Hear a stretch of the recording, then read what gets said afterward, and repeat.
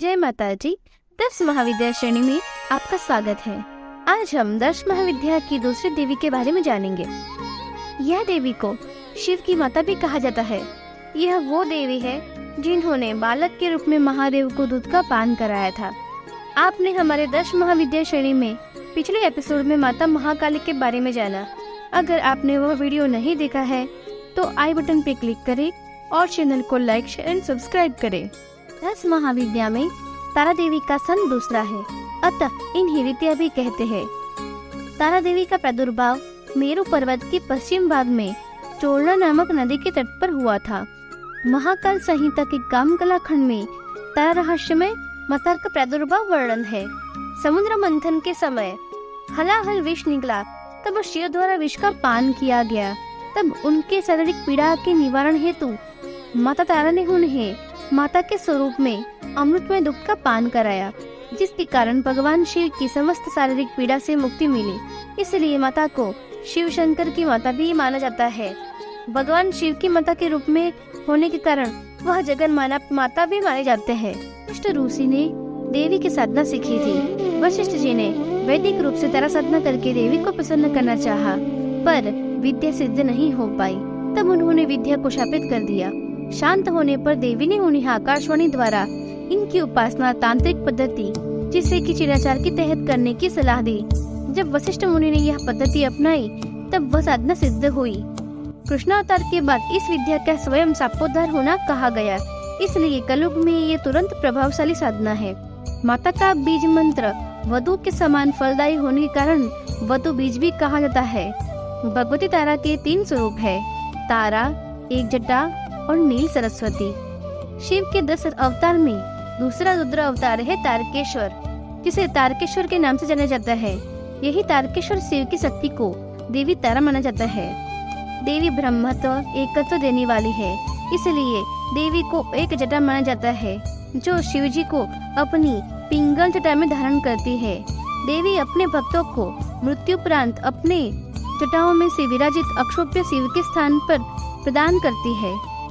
बृहन्नील तंत्र ग्रंथों में विशेष स्वरूप की चर्चा है। हयग्रीव का वध करने के लिए देवी ने नीला विग्रह प्रकट किया। इसलिए देवी को नील सरस्वती कहते हैं। नील सरस्वती के रूप में माता भक्तों को वाक शक्ति प्रदान करती है। देवी संपूर्ण ब्रह्मांड के समस्त ज्ञान की ज्ञाता है। संपूर्ण ब्रह्मांड में जो भी ज्ञान इधर उधर बिखरा हुआ है, उन सबको एकत्रित करने पर जिस ज्ञान की उत्पत्ति होती है, वही नील सरस्वती है।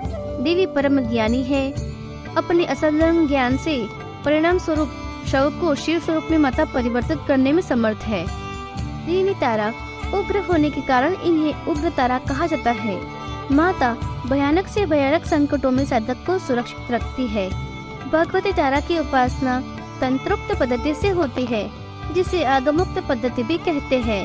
इनकी उपासना से साधक बृहस्पति समान विद्वान हो जाता है। देवी का निवास स्थान घोर स्मशान है जहाँ सर्वदा चिता जलती रहती है। ज्वलंत चिता के ऊपर माता वागम्बर पहन पर खड़ी है। देवी प्रत्यारित मुद्रा में खड़ी है। प्रत्यानिट मुद्रा यानी दाहिने पैर आगे किए हुए युद्ध में लड़ने हेतु की गई मुद्रा। देवी शव पर बैठते हैं। देवी के मस्तक पर पंच कपालों से सुसज्जित मुकुट है। माता के तीन नेत्र हैं। माता की दंत पक्ति विकट गोर अठार से करने के कारण देवी अत्यंत उग्र प्रतीत होती है। देवी, घोर नीले वर्ण की है। माता, नर अस्थियों से बनी महाशंख माला धारण करते हैं। देवी के शरीर से सर्प लिपटे हुए हैं। सिर के बाल उलझे बिखरे हुए भयंकर प्रतीत होते हैं। देवी चारों हाथों से युक्त है तथा नील कमल खप्पर कैची और तलवार धारण करते हैं। माता की चारों ओर सियार गिदर कुत्ते इत्यादि जीव देखे जाते हैं। बौद्ध धर्म की वज्रयान शाखा में देवी तारा की कल्पना की गई है। देवी को मुक्ति की जननी के रूप में मान्यता दी गई है। माता तारा को अवलोकितेश्वर का स्त्री रूप माना जाता है। तारा देवी को जापान में तारा बोसत्सु तथा चीन में जुओ लुओ पोसा कहा जाता है। बौद्ध धर्म में विभिन्न तारा देवी के स्वरूप के वर्णन है। जैसे कि उग्र तारा, खदीरवनी तारा, षडभुजी तारा वश्य तारा लाल तारा आदि। इनमें से हम उग्र तारा के बारे में जानेंगे। यह देवी की आकृति अत्यंत भयंकर होती है।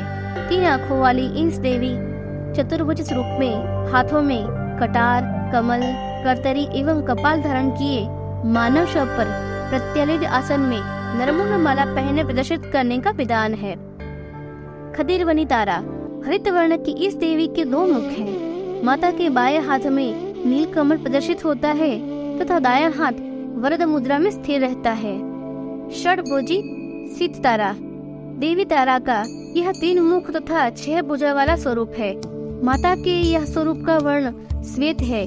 दाहिने हाथ में अक्षमाला एवं बाण तथा बाएँ हाथ में कमल एवं एक धनुष स्थित रहता है। वश्य तारा।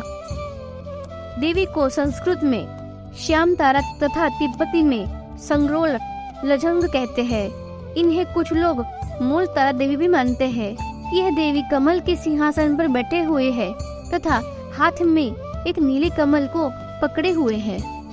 लाल तारा, यह माता का सौम्य रूप है। यह देवी का स्वरूप खासकर प्रेम और करुणा तथा आकर्षण की देवी को माना जाता है। लाल तारा देवी खासकर प्रेमियों के द्वारा पूजे जाते हैं। इस देवी की आराधना कर महिला प्रेम में वशीकरण हेतु करती है। माँ लाल तारा अत्यंत मनमोहक स्वरूपधारी है। यह माता जादू टोना डाकिनी शाकिनी से मुक्ति दिलाने वाली देवी है। लाल तारा की साधना पद्म संभव द्वारा ये शांग्याल को दी गई थी। हाँ चीन में तारा देवी की आराधना होने का वर्णन प्राप्त होता है। महाचीन अर्थात आज का तिब्बत। तिब्बत को साधना का गढ़ माना जाता है। तिब्बती लामा तथा गुरुओं के पास साधनाओं की विशिष्ट तथा दुर्लभ विधिया आज भी उपलब्ध है। तिब्बती साधनाओं का सर्वश्रेष्ठ होने के पीछे का कारण इनकी आराध्य देवी मणि पद्मा है। देवी का आशीर्वाद है। मणि पद्मा देवी तारा का ही तिब्बती नाम है। देवी की आराधना से असंभव भी संभव होता है। तारा महाविद्या की साधना कठोर साधना है।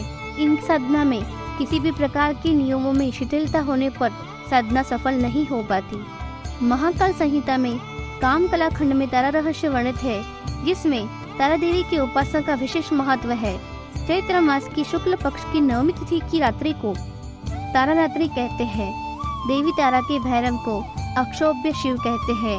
बिना किसी क्षोभ के हलाहल विष का पान करने वाले शिव को ही अक्षोभ्य शिव कहते हैं। देवी पूर्व दिशा का प्रतिनिधित्व करते हैं। माता का वाहन गीदड़ है। वे तारा स्मशान में निवास करते हैं। तामसिक तथा विध्वंसक प्रकृति से संबंधित रखने वाले देवी देवता, उनका निवास स्थान स्मशान भूमि होता है, जहाँ पंच महाभूत से निर्मित देह अपने अपने तत्व में मिल जाते हैं। देवी की साधना एक लिंग शिव मंदिर, अर्थात पाँच कोष के मध्य एक ही शिवलिंग हो, वहाँ पे करने का विधान है। इसके अलावा स्मशान भूमि, चौराहे, सवासन या नरमुंड आसन पे गले तक जल में खड़े होकर या वनवी करने का विधान है। इन स्थानों पर देवी की साधना शीघ्र फलदायी होती है। तारा मत सूत्र के अनुसार देवी की साधना कुमलासन अर्थात जिसका मुंडन संस्कार न हुआ हो, वैसे बालक के शव के आसन पे करने का विधान है। इसके अलावा कंबल या कुशन का प्रयोग होता है। उस साधक को सदा ही देवी के सौम्य रूप में साधना पूजा करनी चाहिए। देवी को लाल व पीले फूल, नीले फूल, नारियल एवं चौमुखा दीपक चढ़ाने से देवी प्रसन्न होते हैं। तारा नाम से ज्ञात होता है कि यह तारने वाली देवी है। माता महाविद्या में दूसरे स्थान पर विद्यमान है। देवी अपने भक्तों को वाक शक्ति प्रदान करने तथा भयंकर विपत्तियों से भक्त की रक्षा करने में समर्थ है। वैद्यनाथ धाम के पूर्व दिशा में उत्तर वाहिनी द्वारिका नदी के पूर्वी तट पर महाश्मशान में श्वेत स्वीमूल के वृक्ष के मूल में सती देवी का तीसरा नेत्र गिरा था। यह स्थान उग्र तारा पीठ के नाम से जाना जाता है। यह पीठ का महत्व कामाख्या पीठ की तरह ही अत्यंत महत्वपूर्ण है। यदि किसी का शरीर रोगग्रस्त है या कोई प्राणी पाप से कष्ट भोग रहा है, वह जैसे ही हृदय से तारा तारा पुकारता है, माता अपने भक्त की हृदय से की गई प्रार्थना सुन, सुनकर भक्त को त्रिताप से मुक्त कर लेती है। इसलिए कहा गया है, जिसे शिव भी तार नहीं सकते हैं, उन्हें तारा तारिणी तारती है। जय तारा देवी आशा है आपको आज की प्रस्तुति पसंद आए चैनल को लाइक शेयर एंड सब्सक्राइब करें। नमस्कार।